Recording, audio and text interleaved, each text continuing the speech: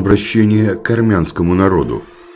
Данный репортаж является сугубо личным мнением автора, основанным на анализе социальных сетей и публикациях в средствах массовой информации. Здравствуйте, с вами Евгений Михайлов.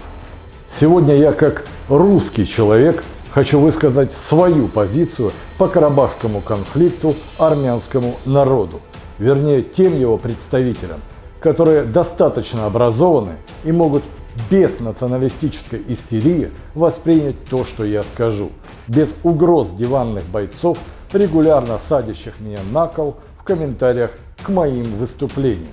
На мой взгляд, то, что сейчас происходит в Карабахе на линии фронта, является ничем иным, как ответом Азербайджана на многочисленные провокации соросовского режима вашего премьера Никола Пашиняна, которому вы поверили в надежде, что он приведет вас к светлому будущему. Не привел.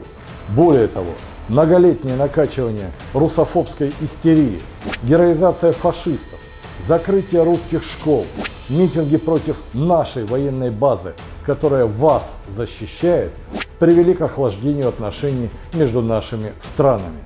На вас не напал агрессор, просто Азербайджан долго ждал возврата обещанного ранее вашими же правителями своих оккупированных территорий.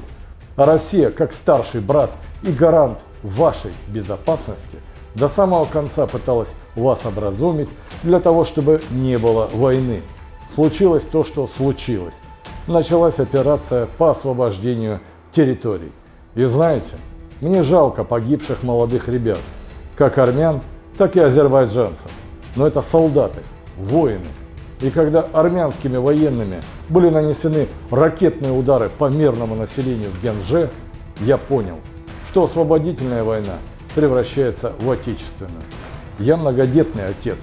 Когда я увидел, как убивают грудных детей, и потом в армянских социальных сетях глумятся над плачущим отцом, хоронившим свою жену с ребенком, я понял, ваша страна обречена, если творится подобное, и вы не остановите своих правителей. Опомнитесь, наши деды плечом к плечу сражались с фашистами за светлое будущее своих детей. Неужели вы не сможете жить в мире с азербайджанцами? Не верю. Раньше же жили вместе и женились, рождались дети в смешанных семьях. Сейчас я слышу в эфирах соловьиные трели и слезные призывы с требованиями осевших в России армян, чтобы русские солдаты пришли на помощь Еревану.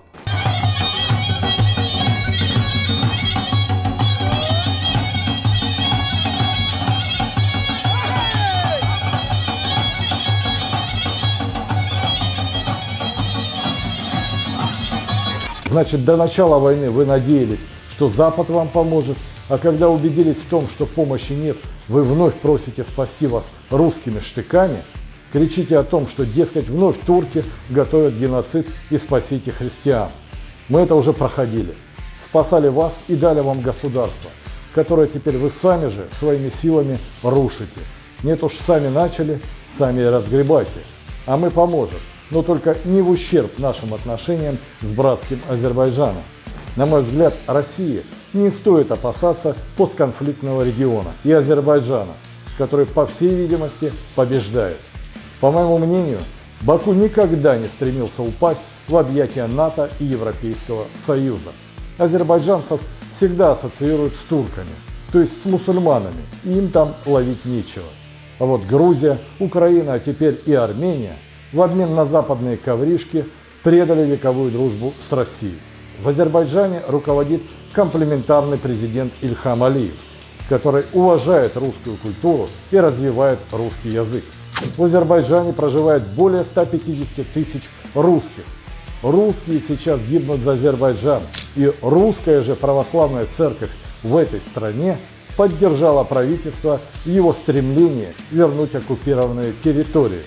Впрочем, как и другие конфессии многонационального Азербайджана. Опять же, как мы можем поддержать нынешний русофобский режим вашего Никола Пашиняна, если Россия в последние годы только нарастила товарооборот с Азербайджаном и запустила масштабные совместные экономические и политические проекты? Совершенно очевидно, что после войны или ее остановки на приемлемых условиях еще больше возрастет экономический потенциал региона, и в том числе для новой Армении, если ее народ сможет понять свои ошибки и договориться с народом Азербайджана.